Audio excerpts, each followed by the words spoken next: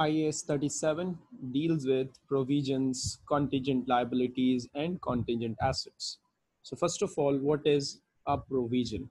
This is the definition of provision. So uh, sometimes a student will be confused that uh, what is the difference between a provision, a allowance, and they might heard uh, a, more, a, a term most commonly that is provision for doubtful debts, provision for depreciation. But uh, let me clear you one thing that there is a difference between provision and allowance. Allowance is to be created against the assets. So technically, this is allowance for doubtful debts, allowance for depreciation, allowance for inventory losses, but we cannot say provision for doubtful debts. It's a misnomer. Rather, provision technically is a liability. So provision cannot be created against asset. Rather, provision can be created when there is a liability. So provision is an outcome of liability. So provision is a liability of uncertain timing or amount or both. So you cannot create a provision for a certain liability having certain timing or amount. You, you always create provision when there is a liability and either the timing is uncertain or amount is uncertain. That is the uh, things that are uncertain. Now, as far as liability is concerned, liability is any obligation. So the definition of liability says that a liability is a present obligation that arises due to past event. Now that obligation, which we called uh, present obligation, that present obligation might be a legal obligation or it might be uh, a constructive obligation. So obligation are of two types, legal obligation and constructive obligation. So that means what? It means that you can create a provision when there is a liability due to legal obligation. Like you can also create provision due to a liability as a result of a constructive obligation. Now, legal obligation arises due to agreements, contract, or operations of law. If you breach a contract, there is a legal obligation. If you violate an operation of law in any country, this is a legal obligation. But constructive obligation is something different. Constructive obligation arises due to past practices,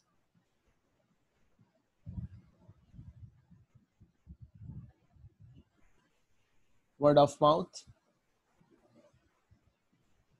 that is published statements that create an expectation on third party that company will follow that.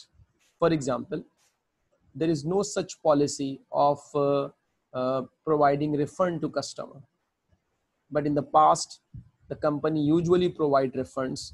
It means that there is no legal obligation to provide refund to customer but it's a constructive obligation because past practices says that when a customer asks for refund the company usually provide refunds. So in accounting terms whenever there is an obligation we have to check that whether there's a legal obligation or a constructive obligation and both obligation for both obligation will will create a liability and for that liability will create a provision.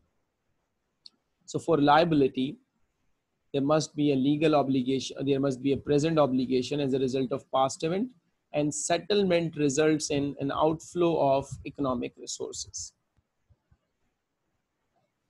Now, once the definition is clear that what is a liability and what is a provision, then we have to recognize provision in the balance sheet. So what is the recognition criteria? An entity must recognize a provision if and only if. If all these three conditions are satisfied, then they will recognize provision in the balance sheet as a liability. What is the first one? It, there must be a present obligation, legal or constructive, as arising as a result of past event, that is the obligating event. For example, you sell a product to a customer with an associated warranty of 12 months so as soon as you sold a product, it's a past event and that created an obligating event. That is, if there will be any fault in the product, you have to make sure that you will correct that particular defect in that product. So it's an obligation. And payment is probable, more likely than not. The chances of fulfilling the obligation you have to make payment is probable. When we say probable, it means more than 50% chances are that that there will be a payment if such defect occurs and the amount can be reliably estimated because we are dealing with uncertainty we don't know how many of the customer will ask for the warranty then we have to estimate an amount and that estimated amount is then a provision. So provision is a liability of uncertain timing and amount and for liability there must be a legal obligation there must be a or it might be a constructive obligation. But for recognition of provision uh, these three points you have to cover. If two points are satisfied the amount cannot be reliably estimated or the payment is not probable then you cannot create a provision what is an obligating event an obligating event is an event that creates a legal or constructive obligation and therefore results in an entity having no realistic alternative but to settle the obligation. A constructive obligation arises if past practices creates a valid expectation on the part of third party. For example, a retail store has a long-standing policy of allowing customers to return merchandise, say within 30-day period. So it's not an uh, legal obligation, but due to past practices, we have assumed that it's a obligation. Now, as the amount is uncertain, so what would be the measurement criteria? So measurement of provision. IS guide us about the measurement principle. The amount recognized as a provision should be the best estimate. Although estimation is difficult, but you will try to uh, create a provision as per the best estimate of expenditure required to settle the present obligation at the balance sheet date. That is the amount that an entity would rationally pay to settle the obligation at the balance sheet date or to transfer it to third party. Sometimes an entity might create, try to create uh, overestimation or underestimation and they might uh, book a liability that is over or under. Such, such things are not allowed because you have to create a best estimate rather than a rough estimate or a worst estimate. You don't you don't need to be optimistic or pessimistic rather create a best estimate.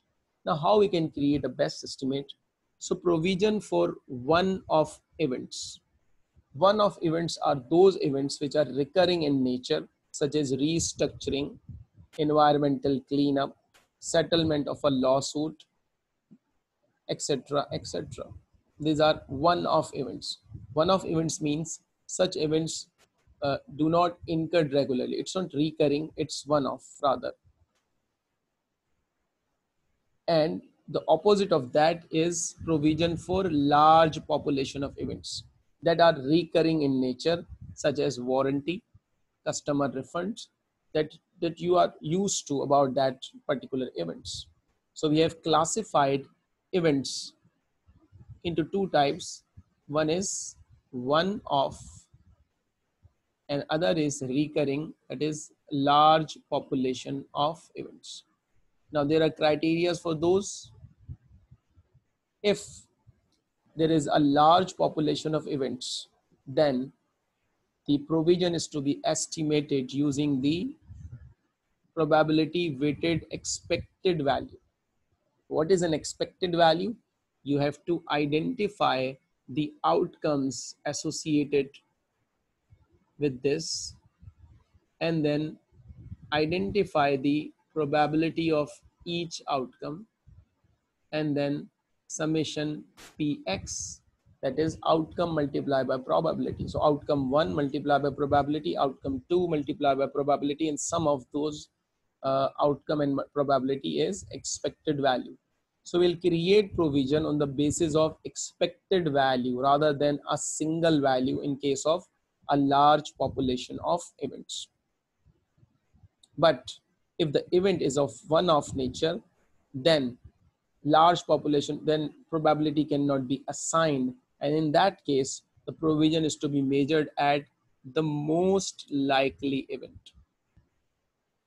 The most likely event might be in terms of amount or in terms of percentage. So probability cannot be assigned and you have to rely on a single figure that might be a most likely amount in, in terms of amount or percentage.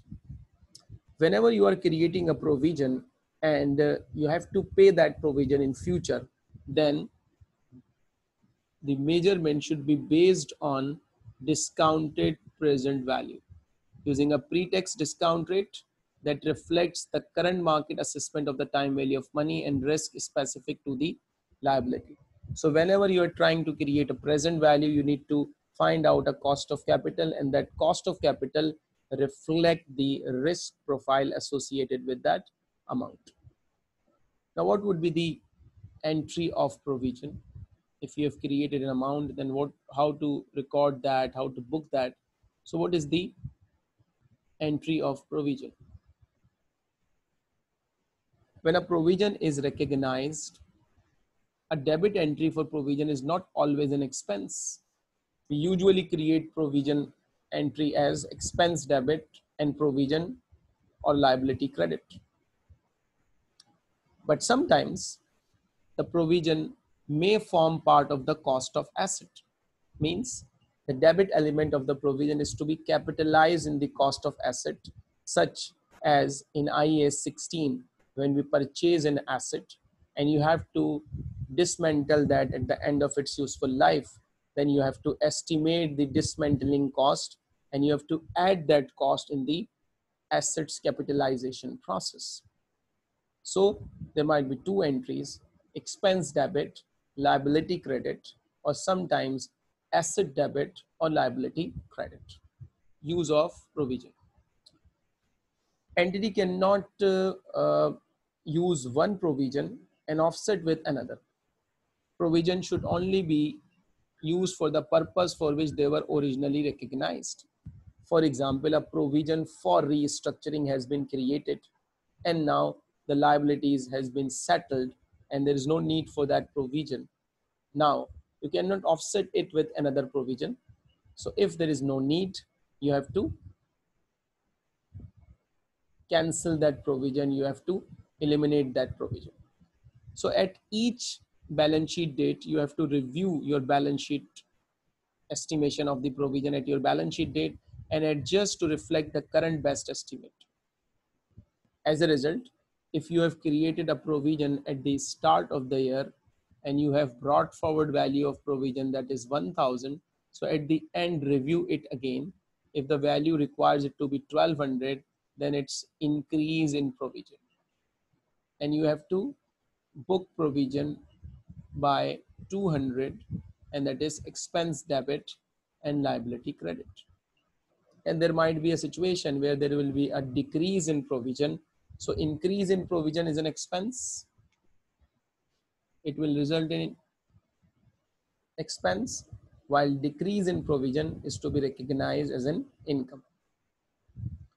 If there is a provision in the balance sheet date and if it is no longer probable that an outflow of resource will be required to settle the obligation what to do? The provision should be reversed. So provision debit and profit and loss account or income credit and if you settle in provision then again provision debit and cash or bank is credit so in this way you can uh, eliminate a provision if there is no need and you can re-estimate a provision at the end of balance sheet date.